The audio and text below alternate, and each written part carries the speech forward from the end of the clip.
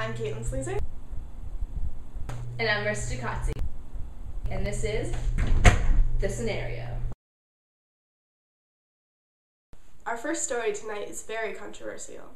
And now we go live to Stanford University, where a college student feels his natural rights are being abused. We are here at Stanford University with college student named Anthony Mamoni. Now, Anthony, do you feel as if your natural rights are being violated by Stanford University? Why? Well, Andrew, I was trying out for the Stanford football team, and they forced me to take a random drug test, which they did not have a just cause to do. This is against the Constitution.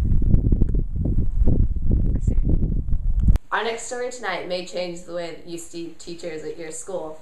Mr. Ryan, who teaches at Oak Ridge High School, unrightfully drowned a student when there was no crime committed. Here is a clip of a student took of the tragic event.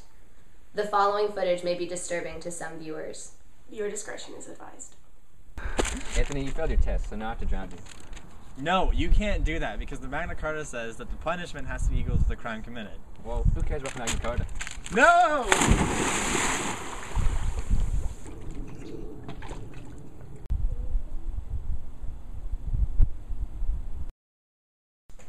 The next story, we will take you back to Oak Ridge High School, where two students got into a fight, and the ending result was the death of one of the students. I hate you. What the heck? We go live to Marissa Chikatsi at the scene of the crime. I'm Marissa Chikatsi, and we're here at the scene of the crime. Here is the alleged suspect who is believed to have killed and murdered this man. So why did you do it? Well, he pushed me first, so Hammurabi's code said that I could push him back because it says that for there's an eye for an eye. Understandable.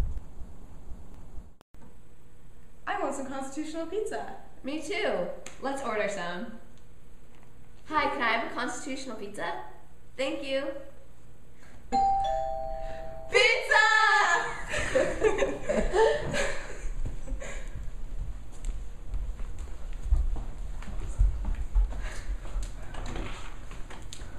Did you say constitutional pizza It's made with all natural rights that John Locke believed in himself? He wanted people to believe in an honest pizza. The following story is extremely controversial throughout the state of California.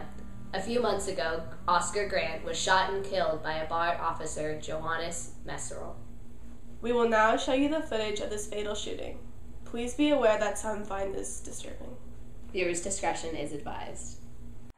Turn around, put your hands on your head. Okay. Don't move. What I do? Shut up. I, I, I don't understand. Shut up. What did I do?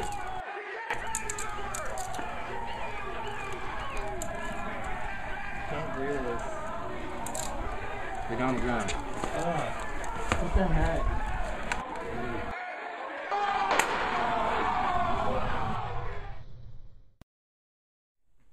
People are furious about this because Oscar Grant was unarmed and was cooperating when Officer Johannes Mehserle shot him. The Bill of Rights says that the officer cannot abuse his powers like that. The officer needed just cause to shoot Oscar Grant. I'm Caitlin Sleazer, and this has been The Scenario.